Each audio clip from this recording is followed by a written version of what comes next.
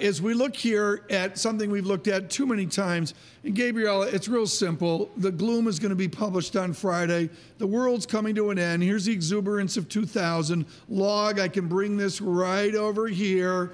Dow 37,000 is roughly a 2000. We're, we're nowhere near the silliness of mm-hmm. 2000, are we? Mm-hmm. No, we would say not. Um, if you compare 2000 to now, valuations are much lower, much more reasonable. Yeah. We have the earnings growth, we have the economic growth in the US and around the world. I love, love, love this graph. And it's really, to me, a, a, proof statement of why we have equities in a portfolio in the first place, right? It's about exactly. the growth. Yeah, Gartman would say lower left to the upper right. Right, exactly. And, and especially why we think about it so much in that long-term horizon rather than the day-to-day moves. What do you as a pro? You go into a meeting, you're with a high net worth individual, you're with a huge institution that's underperformed, and they go, but what about Jim Cramer's FANG stocks? What about Netflix? What about this?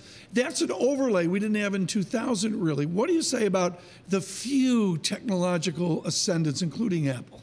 No, technology is a sector, actually one of the sectors we like the most within the market.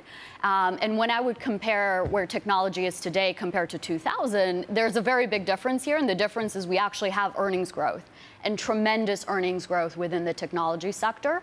Um, for the third quarter, we had almost 15% earnings growth within the technology sector. That's been a theme all year.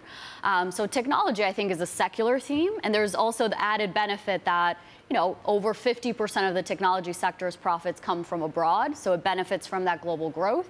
And also the dollar, as we were saying, is getting weaker. There's less support for a strong dollar, which benefits these kind of companies as well.